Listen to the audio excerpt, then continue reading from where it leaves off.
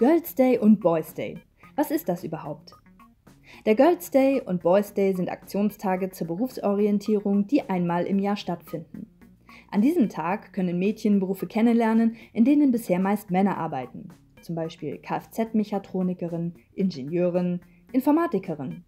Oder sie lernen Frauen in Führungspositionen kennen.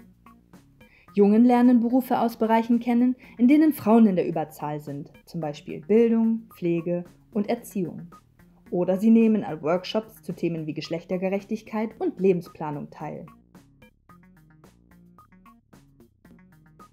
Warum gibt es den Girls Day und Boys Day? Rollenbilder, also wie Männer und Frauen angeblich sind, beeinflussen noch immer die Berufswahl von vielen jungen Frauen und Männern. Obwohl es eine Vielzahl von Berufen gibt, wählen die meisten Schülerinnen und Schüler Berufe, in denen bereits viele Frauen bzw. Männer zu finden sind. Man sieht das in etwa in Kitas, Grundschulen oder im Pflegebereich und in Kfz-Werkstätten im IT-Bereich oder technischen Berufen. Die Berufswahl sollte von individuellen Interessen, Neigungen und Stärken geleitet sein, nicht von Geschlechterklischees. Der Girls Day und Boys Day sind eine Möglichkeit, Berufe frei von Geschlechterklischees kennenzulernen.